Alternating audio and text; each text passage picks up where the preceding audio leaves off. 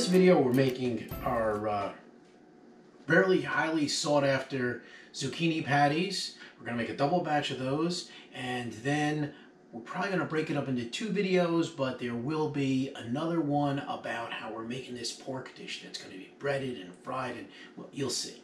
Anyway, so with our zucchini patties, the first thing we do is we start with our grated zucchini. We washed our zucchini really good, and then we don't have to peel it or anything. We just cut the end off, not the end with the stem, but the other, the far end. And um, then we use the coarsest uh, grinding spot on your box grinder is what you can use. If you have a food processor and you want to use that, you can use that. Okay. And uh, oh, and by the way, I apologize if you see any construction debris or tools or anything in the video. We are in the process of redoing this kitchen, but that's another video. Uh, but it is driving the wife crazy. And remember, if you want to have a happy life with your wife, my pastor said there's only two things you need to know. The only problem is nobody knows what they are. Anyway, so we have our uh, grated zucchini. We have some very finely chopped onion here. We're going to dump in four eggs, whole egg. Uh, we have, we love garlic. I highly suggest you try it this way too. We have some crushed garlic here. Uh, that's probably about 10 cloves. Salt, pepper, oregano. Throw that all in.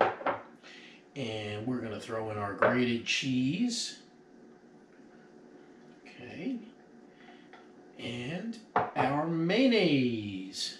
Mayonnaise, which we like Duke's.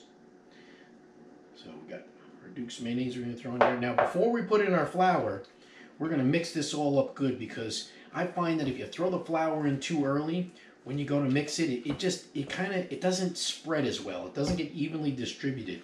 Or, well, the flour does, but all of these things, if they get sucked up a little bit in the flour, then it just, I don't know, it just, they just don't seem to come out the same. So we're going to mix this all here first really good.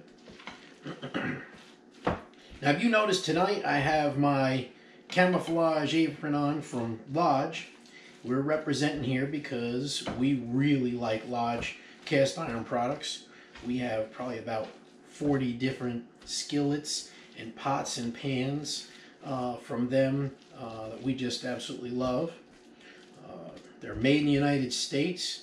Their quality is very good.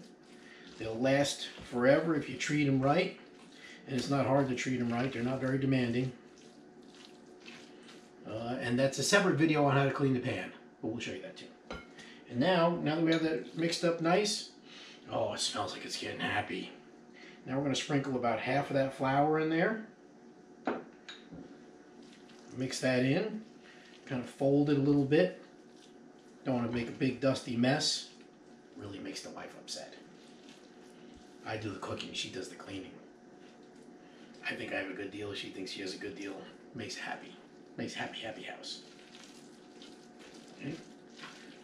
So get that, flour is mixed in there pretty good. So we're going to get the rest of the flour in here.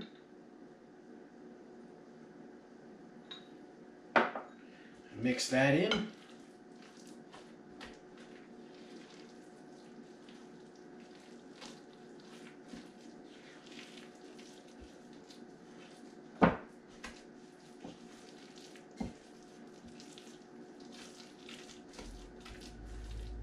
In fact, speaking of the wife, she's my camera person. Thank you, honey. Hmm. But she's over there like a cat stalking a mouse, waiting for these patties to come out of the pan.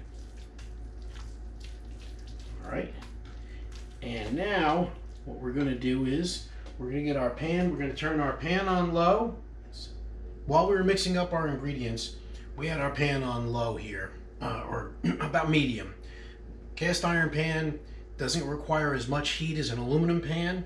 This is our large 10 inch skillet here. It's a great universal size, works for a lot of things. All right, so it's just about up to temperature now. We're gonna drizzle some olive oil in here, like this. And then we're gonna do is we're gonna take our tablespoon and we're gonna put a scoop of this in here like this, right? Smush that around a little because we prefer them to be small and more bite size. You can make them any size you want. I suggest that you take the back of the spoon though and you smush it down a little bit so that it's not too thick. Otherwise, it, it takes a lot longer for it to really cook inside. Right?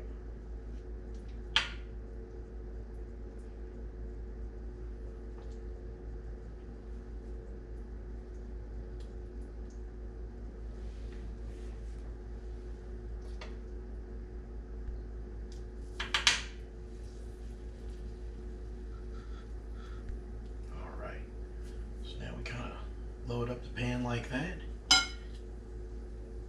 Now we wait for the heat to do its magic.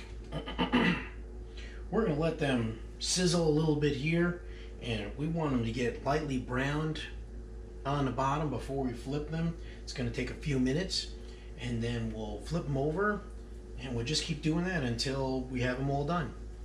See you in a few minutes. As you can see, due to the miracle of time and a little time in that hot oil, that we have all these patties done and they look really good. Now, it's chef's privilege. I get to taste this. I have to make sure. That doesn't look like the chef's hand. It look like the chef's hand to you?